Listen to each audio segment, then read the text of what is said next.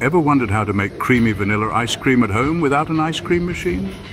Well, today, unlock the secret to crafting this delightful treat using simple ingredients and a few kitchen tools you probably already have. First, gather your ingredients. You'll need one cup of heavy cream, three quarters of a cup of granulated sugar, two cups of full-fat milk, and one tablespoon of pure vanilla extract. Begin by combining the granulated sugar and milk in a large bowl. Whisk them together until the sugar is completely dissolved. This ensures that your ice cream has a smooth, not gritty texture. Next, stir in the heavy cream and vanilla extract.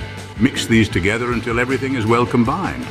The vanilla not only adds flavor, but also enhances the aroma, transforming your kitchen into a sweet-smelling haven. Now pour the mixture into a shallow baking dish. The shallowness of the dish helps the mixture freeze evenly and more quickly.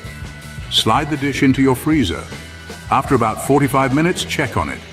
At this point, the edges of the cream mixture will start to freeze. Take a fork and stir vigorously, breaking up any frozen sections. This process is crucial. It helps to keep the texture of the ice cream smooth and creamy rather than icy and hard. Return the dish to the freezer. Repeat this stirring process every 30 minutes for the next two to three hours. Each time you'll notice the mixture becoming thicker and creamier. After about three hours, your ice cream should be perfectly creamy and ready to serve.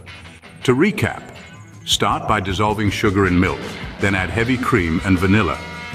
Pour the mixture into a shallow dish, freeze and stir every 30 minutes until creamy perfection is achieved. So now you have a simple yet fabulous way to make homemade vanilla ice cream without an ice cream machine.